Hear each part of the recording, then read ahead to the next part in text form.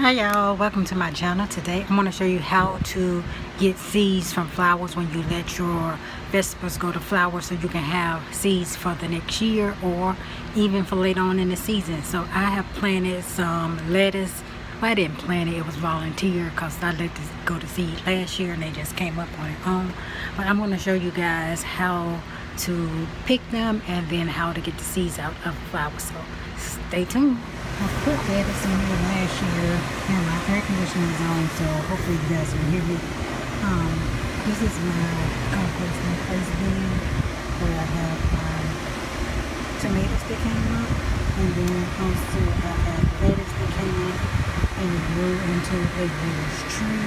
I pulled most of it off but I let two of them stay to go to seed. And this is what it looks like when it starts to flower and then they just dry out. And, and here, these are the seed pods, but these aren't dried out good. But these down here, the ones that broke off, and they have actually dried out. So, I always look for the ones with the little white fairy. I don't know what that is because I'm not a gardener, honestly. I just figured out how to do it and hard to do this with one hand. So I'm going to use my foot and pull some of them off.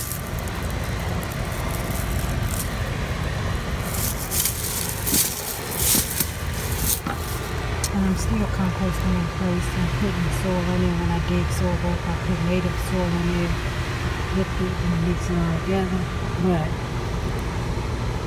these aren't dry, so you will have to let the seeds dry. You can get the seeds out of these, but you will have to let them dry out.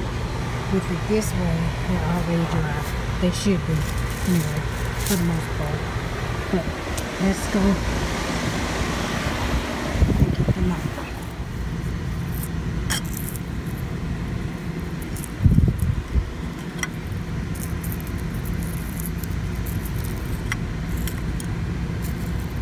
the seeds are there at the bottom.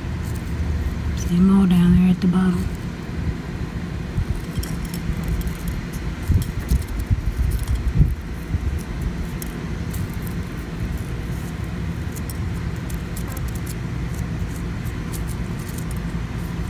And you can always tell because they be a little fat at the ends.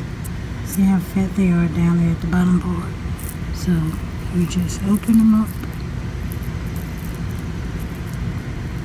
and dump them out. Easy peasy.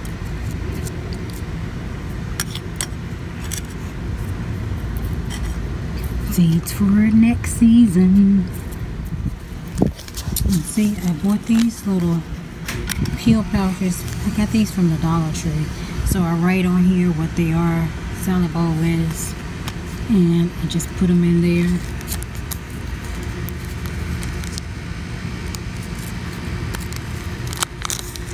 And these are so much easier to put seeds in than those little pouches that they come in.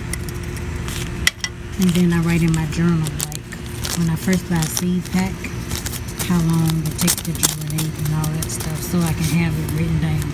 So see, I got a bunch of seeds for next year.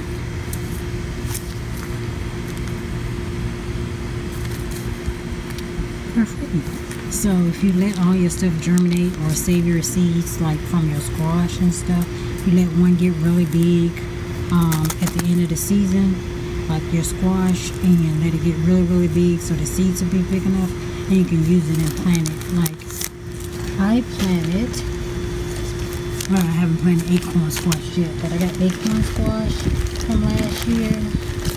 I got cucumber seeds, them cucumber seeds I used um, spaghetti squash and that's what I used to plant my spaghetti squash. So I bought a spaghetti squash last year and I let the seeds dry out and I just put it in a bag and I have one that's growing. I also did the same for my green beans I grew last year. I just saved a few pods and I kept the seeds. Did the same for my spinach. Kept the seeds. These are the spinach seeds, girls. So I got these growing now, so I didn't have to buy any seeds. I got uh, peppers. I didn't know if these were green pepper or jalapeno peppers because I was drying them and I didn't put name on them when I was drying them. I know they're pepper seeds, but I didn't know which one. I didn't plant them this year. And these are jalapenos. I planted these and they didn't grow, so I probably should have tried to grow again, but I may next year. I don't eat a lot of peppers, so I didn't grow a lot of peppers. But I think that's it for all the seeds that I have saved through this year. The rest of them are the ones I got from CaliKim. Um, she sends them in these little pouches, which gave me the idea to use these little medicine pouches. So if you're in the Dollar Tree and you see these, pick some up. Sometimes they have them. I haven't seen them in a while, but when I do see them, I grab them because I like them. I even use them, you know, take my medicine in when I'm traveling because that's what they're for.